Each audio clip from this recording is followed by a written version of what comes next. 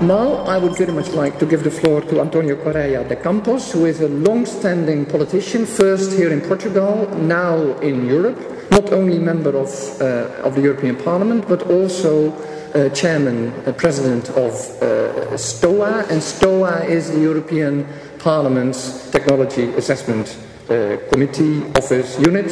Um, Mr. Correia de Campos, we are looking forward to listen to you.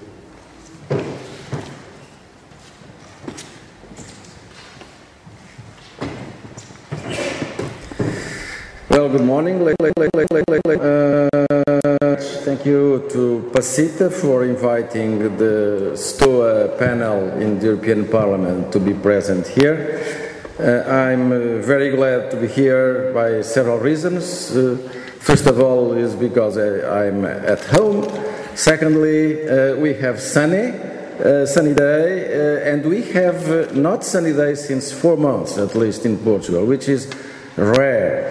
And, and thirdly, because I'm, I'm seeing many familiar faces here around the tables, and especially a special compliment to my colleague from 35 years ago at Johns Hopkins, Felix Gutzwiller, that uh, uh, we uh, tend to see each other every 10 years or 15 years. Maybe 15 years from now, we both will see each other. Well, thank you very much. We, we um, as you know, technology has drastically changed the way we live, the way we communicate and relate to each other. Uh, we find it hard to conceive uh, a different reality from the one we enjoy today without the freedom offered by our mobility and communication patterns, without the safety of easily assessing a medication to treat our illness, or simply without living thermic uh, comfort in our homes. Our current living and consumption patterns were built on our technological capacity. This in turn led to direct negative consequences such as overexploitation of resources, climate change, and loss of biodiversity.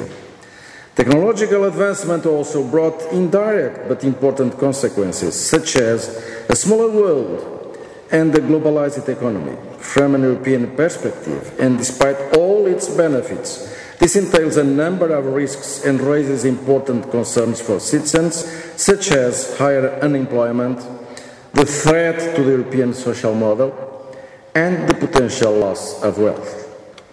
The impacts of science and technology are therefore vast, and they have huge implications at both national and international level affecting the economy, global environment, and our geopolitical decision. A good understanding of the interaction between science and society are growingly important for policymaking in order to mitigate risks, avoid gaps in regulation, and to increase social welfare, making the most out of future opportunities. In its Europe 2020 strategy document, the European Commission outlines its vision for the future. Science and innovation are at the core of this strategy, many of the flagship initiatives and instruments that cascade down are intended to support and enable both scientific progress and technological innovation. They are designed to bring about sustainable and smart economic growth for Europe by breeding an optimal ecosystem from, for the promotion of science, education, and innovation. TA, technology, technology assessment, and foresight activities must play a role in underpinning policy responses. By anticipating outlooks for the future, governments and parliaments are in better position to prepare and influence it towards preferred outcomes. This is more so when expectations in S&T, uh, science and technology, are so high, including the sustaining economic competitiveness and job creation devising a suboptimal science and technology policy framework entails an enormous cost of opportunity in the current global context. Parliaments play a key role in approving legislation and promoting good governance and oversight of the executive power. There is growing need for a sustained dialogue between scientists, society, and members of parliament. Technology assessment is essential to provide in depth accurate and independent information which makes decision makers aware of technology and of its implications for the future, contributing towards better policy making. The role of Science and Technology Options Assessment, STOA, body of the, uh, body of the European Parliament lies both in policy design and in support of policy making. STOA's mission is to provide in a neutral and independent way studies assessing a range of options to underpin policy decisions. This should ensure that MEPs are provided with state-of-art knowledge to reflect upon when carrying out their policy tasks, at the same time considering other factors such as their individual political and ethical values. I would like to briefly illustrate with two of our most recent pieces of work in STOA. The first one relates to the project named Science Metrics. There is a constant debate about the value and productivity of research and innovation uh, innovation activities funded by public monies. Measuring such impact is a complex problem with many methodological difficulties because impacts of R&D are deferred in time and they have spillover effects which are difficult to capture and measure. However, there is a traditional battle for the allocation of funds among policy instruments and among scientific areas for example, in the context of the definition of Horizon 2020 program, there was a fierce battle among several programs. Also, as such sums are progressively directly directed to innovation and to close to market application, one must ensure that rational principles apply, demanding greater accountability and evidence-based policy our initial study highlighted a number of actions to be pursued, but our objective is to pave the way towards more effective science and technology policy measurement tools. Measurement tools. I'm sure that on coming five years we heard a lot about science metrics. Another study, Technology Options for Feeding 10 Billion People, explored the possible contribute, contributes of technology towards a more sustainable food supply chain and how much out such technological potential could feed into new policy measures, namely regarding water usage and the common agriculture policy. Results of this work fed into an European Parliament resolution already for action against food waste and into the common agriculture policy debate. I hope that uh, uh, we, you may find documentation about uh, STOA and about these studies uh, in the documentation tapes. And uh, uh, I, I, hope that the package of the documentation had arrived in good shape here. I'm not sure. It is yes. It is, okay, fine, good news. Based upon the needs expressed by different parliamentary committees, STOA provides the parliamentary bodies and their members with impartial scientific information and studies.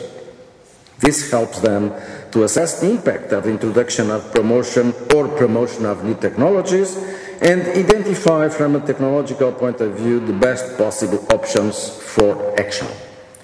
In the same context, STOA is the unique body within the European Parliament which deals with societal aspects of science and technology and act as a reliable partner of civil society and scientific community at decision-making level.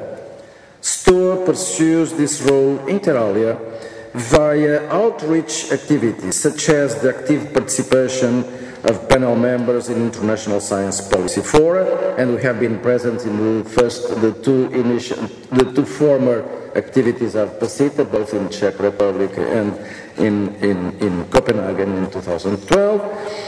Uh, through the organization of workshops open to the public and through its emblematic event. Our emblematic event is the annual lecture, which involves uh, very high profile scientists or members of society. We have been lucky enough to have Tim Berners-Lee. Um, later on, we have uh, the, the, two Nobel Prizes of the Higgs boson, Higgs and Professor Belgian person that got the Nobel Prize with Professor Higgs. And the, last year we had uh, Ismail Serageldin, the president of the Alexandria Library. Uh, however, despite the great, this year we are going to have uh, uh, the Nobel Prize uh, from uh, Medicine and Physiology in 93, 2013. it's a German person living in the United States, Schultz. well, never, never mind.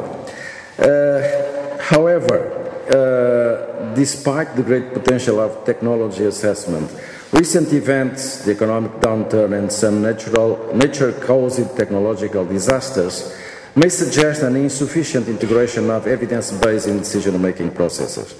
There are inherent difficulties and barriers at the interface between TA and policymakers, which are, some of them are important to mention. First, the decentralized nature of European decision-making process.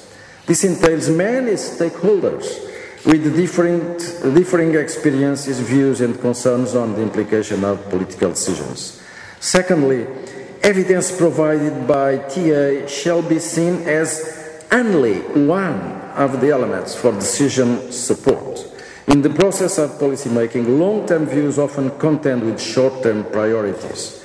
In this balance, incentives are often on the side of short termism, as measures often cause a more direct impact on people's lives and offer a best match with political cycles.